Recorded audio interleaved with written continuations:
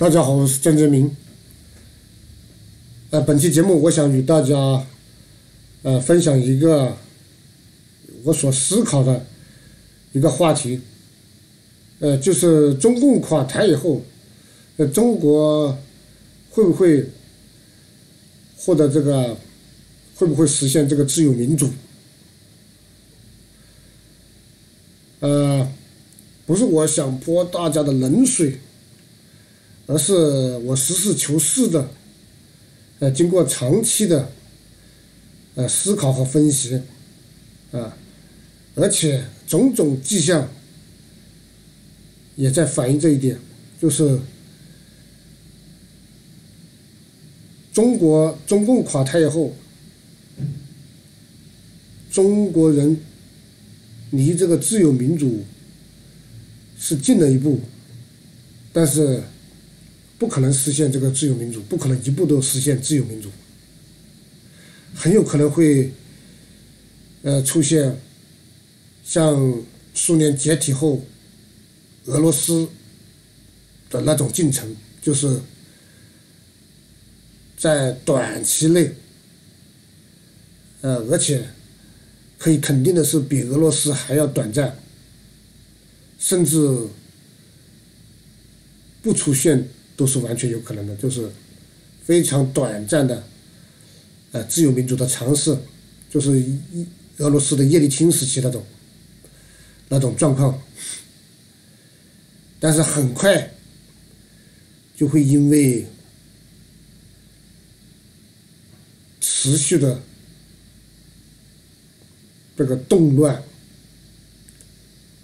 还有各种的问题。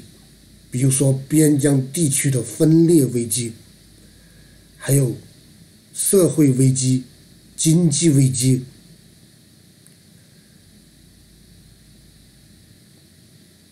都在这个软弱无力的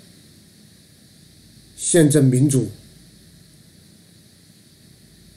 体制下得不到解决，而很快的。发生了善变，就是叶利钦时期变成了普京时代。以中国现有的条件来看，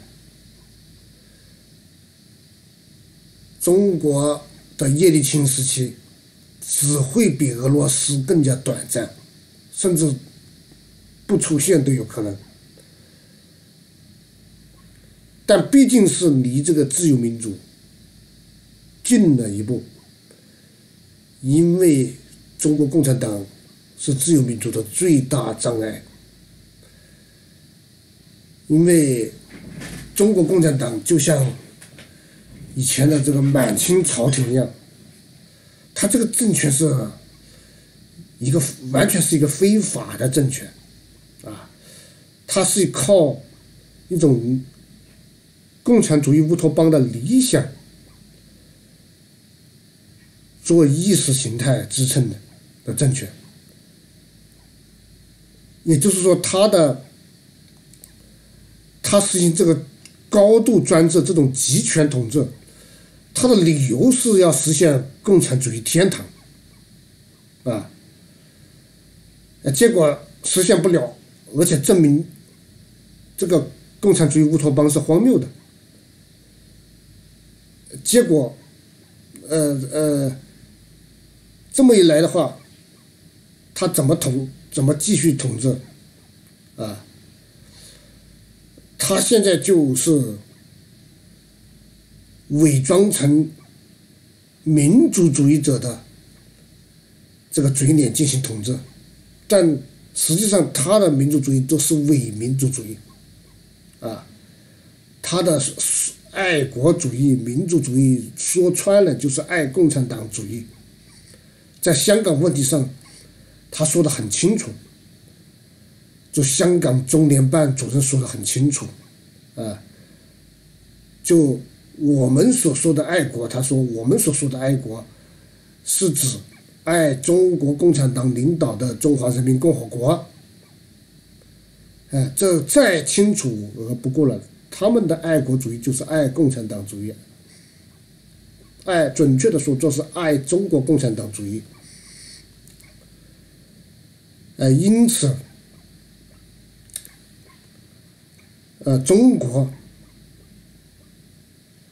他这种这种现状，啊，这种现状，这个中国共产党政权，它这种性质，啊，它是不可能改良成呃宪政民主政权的，不可能，啊。因为这个模子，还有这个地基都是错的，你怎么能够建成一一幢先进的、安全的大厦？不可能。唯一的办法就是把这个危楼给炸掉，重来，另起炉灶。因为它的这个地基都是歪的，都是危险的，都是都是错了。它那个楼的地基都大错了，你继续建上去，只是最终的结果就是崩溃的更加惨烈，啊，满清也是一样的，因为他这个政权，他都是完全是一个非法政权，是这个野蛮的。而且是中华之外的这个化外北方游牧渔猎的这种野蛮民族，侵入中国、窃据中国的政权，啊，他是实行的是一族专制，一旦立宪，他那个满洲族他就丧失了特权。满人整个民族，他是由这个汉人纳税人供奉的，他他是不用生产劳作的，啊，一旦立宪，他就必然丧失这个特权。那么不要说满洲贵族们不干，一般的满人他也不干，啊，这个与中共是非常相似，啊，我特别向大家。指出的一点就是，呃，现在中国社会已经跟八十年代、上世纪八十年代已经是完全不一样的。很多人以这个八九民运、八六学潮为依据，说中国以后共产党垮台以后，中国会一步到位的建成自由民主。我想。呃，他们呃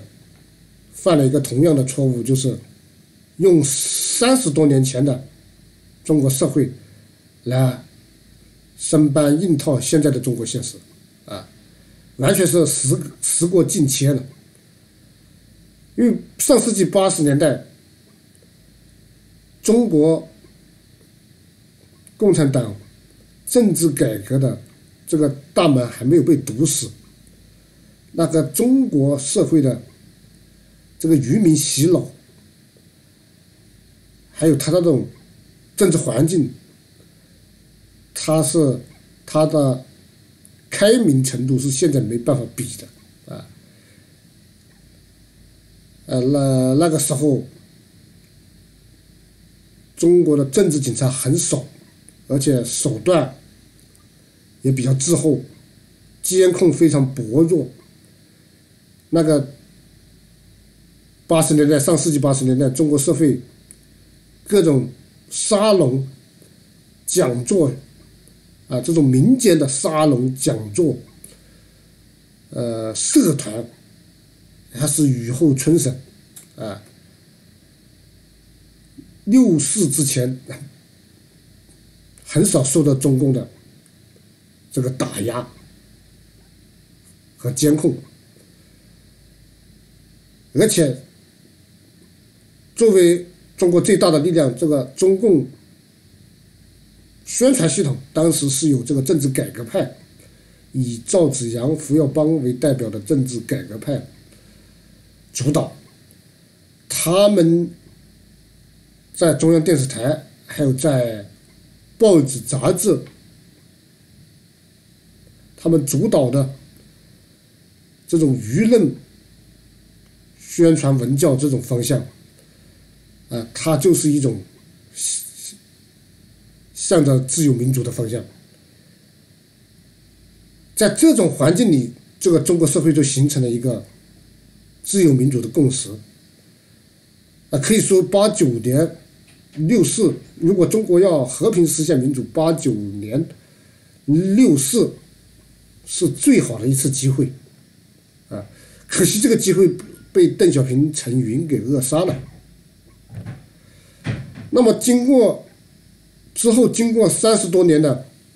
这个集权的重新加强，啊，还有这个愚民洗脑、言论钳制、信息封锁的重新加强，它已经完全改变了，啊，当年中国的社会基础，啊，就是八十年代能够滋生大规模民主运动的社会基础已经被消灭了，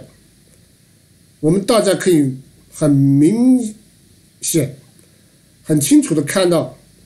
就是九零、八零后、九零后大学生，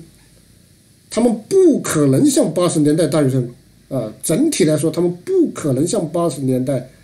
大学生那样，为了这个自由民主的理想而有所付出，啊，整体的都。变得非常现实，被非常市侩，啊！但相反，在中共的刻意的灌输和鼓动之下，这个以爱共产党为实质性内涵的这个伪民主主义。倒是空前的高涨，啊，这这成了是今天的现实。那么习近平上台以后，就进一步高涨，啊，现在已经到了当代义和团遍地开花的程度了，与慈禧太后纵容义和团时期的晚清社会非常相似。那么这种社会条件。是不可能在中共垮台之后能够建成这个自由民主的，啊，作为我们这个民运人士，我们当然是希望中共垮台以后，中国能够一步到位的实现渴望已久的自由民主，但是这只是愿望而不是现实，啊。那这个当然是一个不好的结果，啊，中国又得经历一个普京式的，啊，这种后共产党的，呃，这种专制的时代，啊，这这当然是一种不好的结果，但是它有好的一方面，啊，好好的方面在哪里呢？就是它比这个，它不可能再像。共产党那样那样虚伪和不负责任，那么新的政权它必然要以这个民族主义作为支作为意识形态的支撑，它不可能像共产党像中国共产党那么虚伪，呃，完全呃作假，搞伪民主主义，啊，用这个。爱党主义来包裹民主主义，他不可能那样做，啊，他必必然要有新的卖点，他必然每一个新的政权，除非像满清那种政权，啊，完全是靠武力弹压，还有笼络收买，每一个非集权的那种政权，他必然要有新的卖点。他要改善，他要笼络民心，他要振作士气，他必然会比这个共产党政权要在很多方面要好很多，啊，而且这个中国现在由于这个计划生育三十多年，边疆的汉族人口空壳化、老龄化，汉族的那个在边疆的社会基础已经非常的薄弱，啊，这就对这个维吾尔、还有藏族、还有内蒙古的蒙古族，啊，在中共垮台以后，他们。呃，追求这个边疆少数民族分裂分离，是一个天赐良机，可以说，啊，如果没有一个比较铁腕的一个民族主义的力量来捍卫中国边疆的领土。以及中国边疆的主体民族汉族，啊，那么结果是惨不忍睹的，啊，辛亥革命之后，新疆和西藏都发生了对汉人的大屠杀，啊，中共垮台以后，恐怕不会例外，而且可能仇杀的规模会更加惨烈，啊。这个时候就需要一个，呃，普京式的这种政权，以铁腕的手段来保护中国的边疆和边疆的主体民族，啊，所以说从这个角度来说，这也是一个未尝不是一件好事，呃，你。如果能够一步到位的实现自由民主，那当然好，但是没有条件。啊，不仅中国本土没有条件，中国边疆地区一旦实施这种比较宽松的自由民主，那么等于为这个少数民族屠杀和分裂提供了绝佳的条件。啊，这个。当年新疆，当年盛世才在新疆。盛盛世才这个人是一个非常卑劣的人，啊，而且没有人格，啊，呃，就是反复无常、背信弃义、没有底线的那种人，啊，呃，他是个满族人，啊，当然不是因为他是满族人，我才这么对他定性，就是他是三番五次的，啊，想要投靠这个。苏联，而且想要加入中国共产党，结果苏联和中国共产党为了当时的政治利益，不方便让他加入。啊，他是靠苏联扶持在湘江新疆独霸一方，啊，呃，但他也歪打正着做了一件好事，什么好事呢？就是他趁，呃，德国。闪电在一九四一年，闪电在大举进攻苏联的机会，苏联无暇东顾的机会，啊，突然跟斯大林翻了脸，啊，为什么他跟突然要跟斯大林翻脸？因为他错误的判断，他错误的判断，苏联快灭亡了，他要改投亲主，要改投蒋介石，啊。呃，当然，蒋介石也抓住他这个机会，就把新疆拿到手里，啊，当时因为他在投靠，他在反斯大林之前，他新疆已经被苏联深深的渗透和控制了，啊，苏联在新疆这个那个矿山驻军，而且。苏联的这种，呃，外交间谍以及中国代理人，也就是中国共产党的势力，深深的渗入了新北疆。那么盛世才他就靠，他有个绝活，就是就是组织特务机构，他有特务的天才，啊，他在这个。当时新疆公安的系统，他也叫公安，他在那个公安系统之外，另外搞了一套叫做督办督办侦缉队的秘密这个组织，也就特务组织，呃，密布于这个新疆的党政军、国民党党政军，啊，这个特务系统在清洗共产党，在他背背叛斯斯大林、清洗共产党，他发动政变，还有防止这个少数民族分裂上。都起了很大的作用，啊，因此这个这是这是作为一个边疆的地方大员，盛世才的可取之处，否则的话，他怎么斗得过共产党，斗得过苏联？他早就死无葬身之地了，啊，啊，因为他善于组织和运用特务系统。刚好成为了这个共产党的克星，斯大林被他杀了一个措手不及，是吧？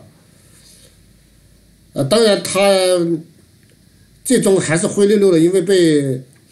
他虽然虽然挫败了斯大林，但是还还是没有人逃过蒋介石，啊，他的呃军队被收编了，他的地盘呃被接管了，他成了光杆司令。那我讲这个意思就是，今后中国的这个，今后中共垮台之后，中国，尤其是这个边疆地区，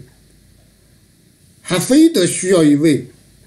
还非得需要这样这种特务铁腕统治，否则的话，中国会更惨。呃，我这个话肯定是有违政治正确，但是是是不是事实，大家平心而论的进行观察，今后中共垮台以后，今中国面临的三大势力的挖心、挖肝、挖肺的挑战，巨大的威胁，一是。中国共产党的复辟势力，二是少数民族的对汉人的屠杀和分裂，三是包括俄罗斯、日本、美国和西方国家在内，外国对中国的肢解这三大块势力，啊，因为这个俄罗斯、日本是赤裸裸的。而且一直以来是对华的这个传统国策，就是把中国分成七大块，肢解中国。美国是隐藏在暗处的，呃，内心是希望中国少数民族都分离，把中国分成几块，啊。那么面临着三大严重威胁的情况下，而且又。没有实行民主的条件的情况下，呃，中国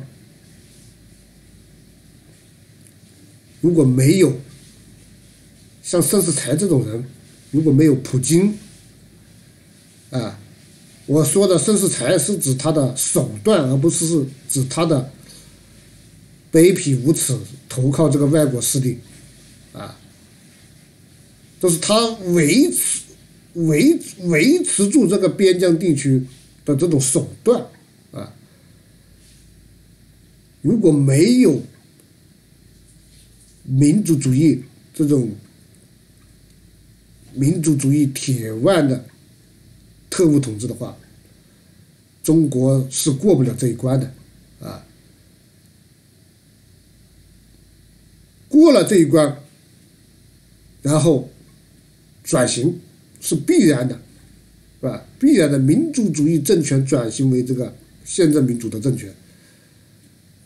呃，可能是比共产党政权，是共产党政权没没办法比的，啊。好的，谢谢大家，我们下期节目再会。